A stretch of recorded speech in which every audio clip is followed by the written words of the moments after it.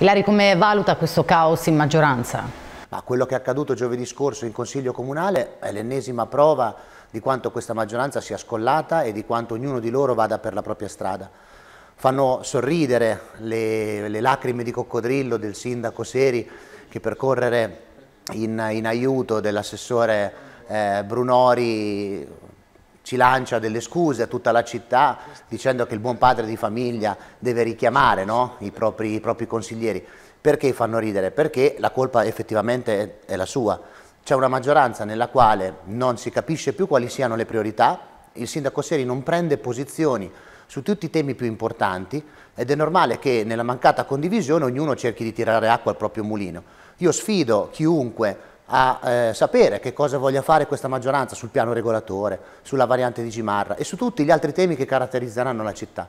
Quindi è evidente che ci sia una, una, una profonda spaccatura, chiaramente sono tutti ricatti e giochini e sgambetti che si fanno per portare acqua ai propri temi. L'ultimo, quello della, della mancata, del mancato numero eh, per ottenere l'immediata eseguibilità sulla variazione di bilancio era evidente il fatto che una parte della maggioranza volesse quei soldi non impegnati proprio per, per eventualmente spenderli nella variante di Cimarra. Ma questo vale per tantissimi temi e io credo che Fano non abbia più il tempo da spendere per, per, rimanere così al palo.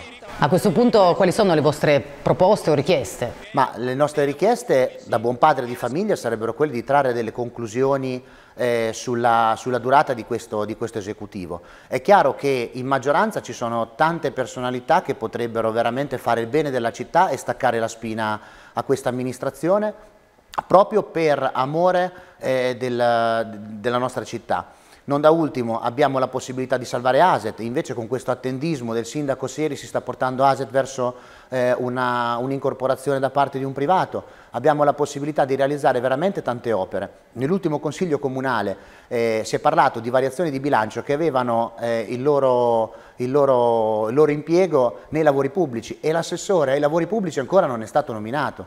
Quindi vedete che è veramente complicato andare avanti in un'amministrazione un del genere e in consiglio comunale si, si assistono a dei teatrini eh, di cui Fano veramente non ha bisogno.